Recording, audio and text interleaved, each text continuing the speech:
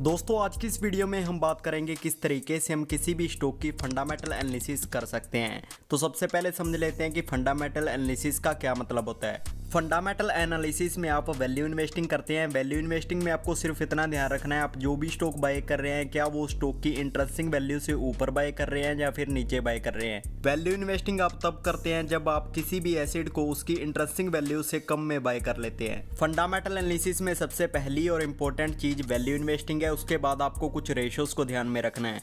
पहला P ratio दूसरा PB ratio तीसरा डेप टू इक्विटी रेशो और चौथा करंट रेशो तो वीडियो में आगे बढ़ने से पहले, सबसे पहले हम इन रेशोज को समझ लेते हैं।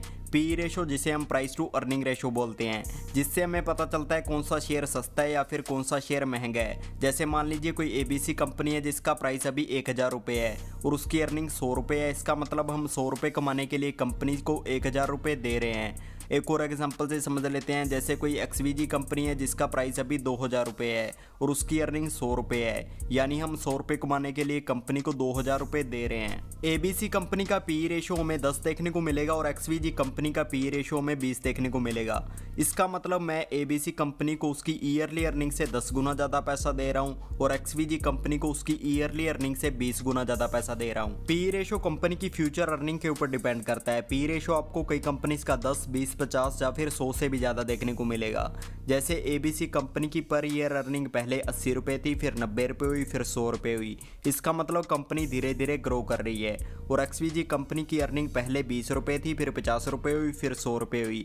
इसका मतलब कंपनी तेज़ी से ग्रो कर रही है। और एक्सवीजी कंपनी का पी रेशो आपको हाई देखने को मिलेगा और एबीसी कंपनी का पी रेशो आपको लो देखने को मिलेगा। अगर हम मार्केट के हिसाब से देखें, जो बड़ी कंपनीज़ होती हैं, उनका पी रेशो हमेशा आपको ज़्यादा ही देखने को मिलेगा।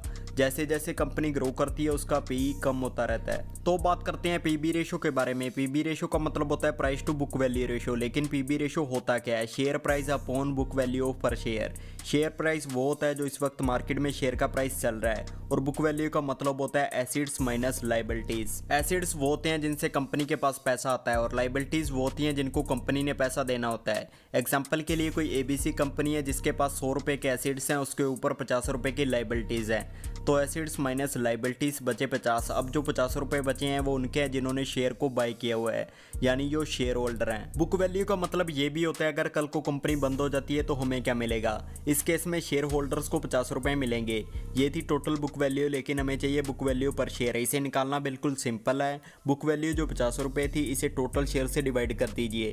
जैसे इस केस में हमारे पास टोटल शेयर दस हैं और बुक वैल्यू पर शेयर पचास है। तो आपको पचास को दस से डिवाइड कर देना है तो हमारी बुक वैल्यू पर शेयर हो गई पाँच।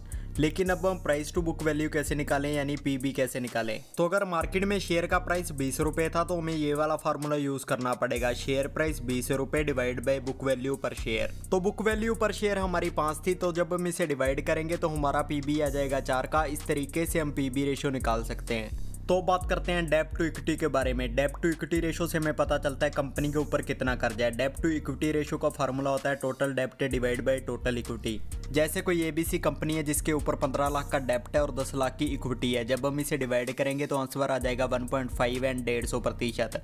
वैसे अगर आपको किसी कंपनी के ऊपर कोई भी डेप्ट नहीं देखने को मिलता तो वो सबसे बड़ी है। तो बात करते हैं करंट रेशो के बारे में। करंट रेशो का मतलब होता है current assets upon current liabilities जैसे कोई एबीसी कंपनी है जिसके पास बीस करोड़ के एसिड्स हैं और उसके ऊपर दस करोड़ की लाइबिलिटीज हैं। तो कंपनी का करंट रेशो आ जाएगा दो का। तो अब आपको फंडामेंटल एनालिसिस में तीसरे नंबर पर बैलेंस शीट को चेक करना है। बहुत सारे लोगों को लगता है कि कंपनी की बैलेंस शीट को पढ़ना बहुत मुश्किल काम है। लेकिन वीडियो के साथ एंड तक बने रहना, हम सभी चीज़ों को सिंपल तरीके से समझेंगे। जो चीज़ कंपनी बेच रही है, उसे हम सेल्स कहते हैं। और जो बच रहा है कंपनी के पास, इसके बाद उसे हम प्रॉफिट कहते हैं। सेल्स को टॉप लाइन और प्रॉफिट को बॉटम लाइन कहते हैं। आपको सबसे पहले देखना है कि कंपनी की सेल्स हर साल बढ़ रही है। इसके बाद आपको प्रॉफिट देखना है कि कंपनी का प्रॉफिट हर साल बढ़ रहा है या फिर नहीं। इसके बाद आपको कंपनी के एसिड्स और लाइबिलिटीज को चेक करना है। कंपनी के एसिड्स हर साल बढ़ने चाहिए और लाइबिलिटीज कम होनी चाहिए। अगर ऐसा हो रहा है तो कंपनी अच्छा कर रही है। इसके बाद लास्ट में आपको कंपनी का कैश फ्लो चेक करना है। अगर कंपनी के पास कैश होगा, तभी कंपनी आने वाले टाइम में ग्रो करेगी।